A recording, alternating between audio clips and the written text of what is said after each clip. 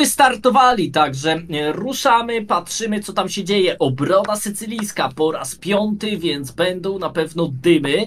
E, Tym razem posunięcie E6, skoczek F6, więc mamy wariant, który już widzieliśmy. Będą tutaj na pewno dymy po gońcu B4. Bez gońca jednak B4! nastąpiła zmiana! Bezpieczne Zdaje się- podejście! Tak, było tutaj przygotowane pod buleciki inne podejście, ale zauważcie, a wy nie widzicie, więc ja wam powiem, jest kolosalna różnica rankingowa. Sadowski 576 elo, pan Franio 1027, więc prawie dwa razy większy ranking.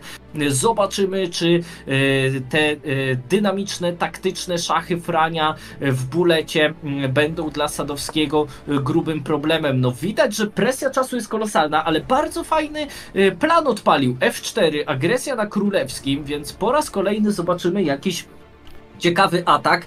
E, Zawodnicy mają jedną sekundę Jak długo myślą, zerknij Dawidzie, jak psychika ludzka po kraniu tych wszystkich dłuższych partii wpływa na granie buletów. Oni się boją, to jest partia o wszystko, a oni są zmuszeni grać minutówkę. Istne pastwienie się nad nimi z mojej strony, ale chcemy dymów, widzowie, to są igrzyska szachowe i piękne E5, które będzie sugerowało o tym.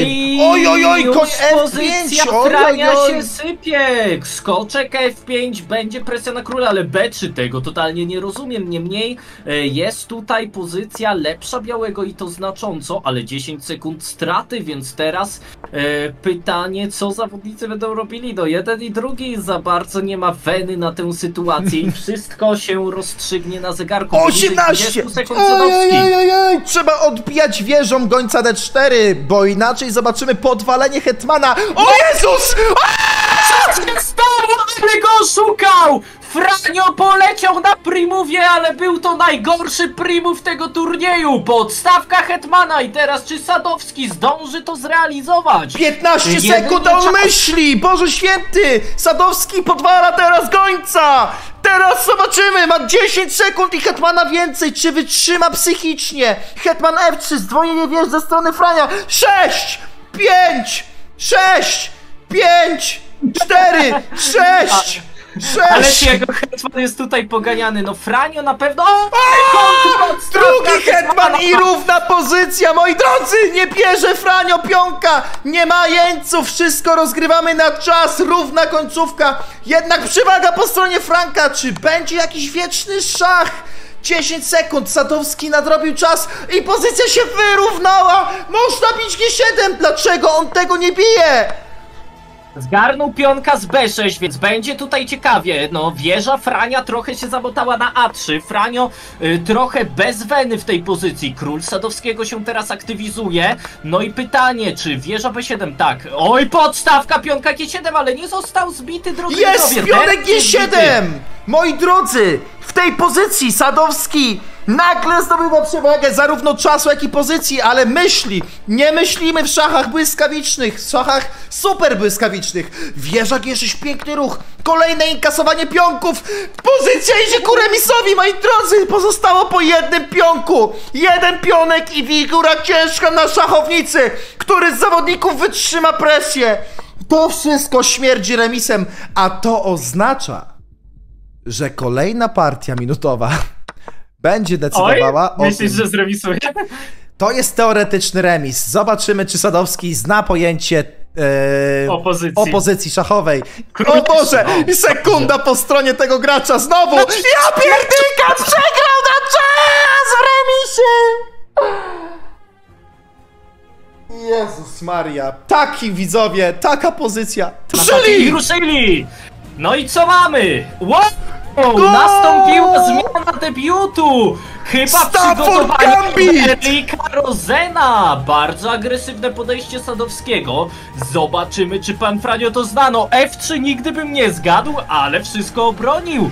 I czy Sadowski udowodni, że rekompensata jest za poświęconego pionka? Próba wrzucenia Szewczyka! Jeżeli... Oj, oj, oj, nie udało się, ale moi drodzy, F3 praktyczne podejście od Frania. Na pewno zszedł on z linii teoretycznych Sadowskiego, a teraz całe przygotowanie nadaje się do śmieci. Obaj grają bez znajomości teorii, a Franek wymyślił C3 przy szachownicy, prawidłowe C3.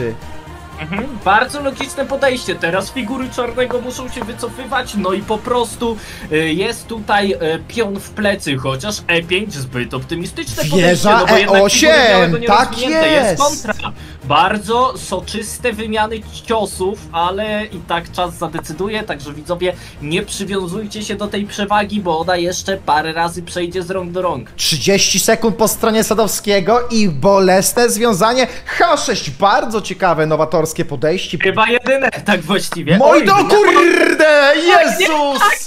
Not tak. like this, Sadowski! Boże święty, nie biorą Nie tego! zbił, nie zbił, po prostu wygrana pozycja i? Jezus Maria, moi drodzy, to są nerwy i emocje.